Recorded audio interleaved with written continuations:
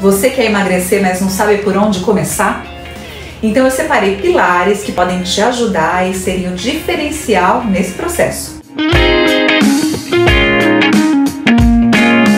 O primeiro hábito a adquirir é comer devagar, mastigar bem os seus alimentos.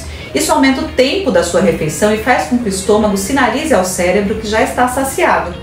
Isso também diminui a ingestão de alimentos, ajudando na perda de peso. Respeitar a saciedade também é super importante. Você não precisa comer toda a comida do prato. Se perceber que já está satisfeito ou satisfeita, guarde o restante da comida e consuma em um outro momento, por exemplo. Outra coisa que ajuda bastante é a escolha dos alimentos que você vai consumir. Coloque proteínas magras em todas as suas refeições, como ovo, peixe, frango, laticínios e leguminosas. Esses alimentos aumentam a liberação de um hormônio que promove a saciedade. E você sabia que o consumo de água também pode te ajudar a emagrecer? Isso ocorre porque a água participa de todas as reações do nosso metabolismo e também ajuda a eliminar as toxinas do nosso corpo.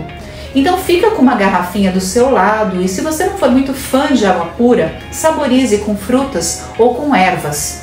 E olha só, nós não podemos falar de emagrecimento sem falar da movimentação do corpo.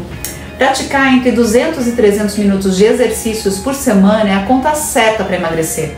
Os exercícios físicos aceleram o nosso metabolismo, estimulando a quebra de gordura corporal. E existem ainda várias outras estratégias que podem te ajudar nesse processo. Se você quer saber mais, continue nos acompanhando por aqui.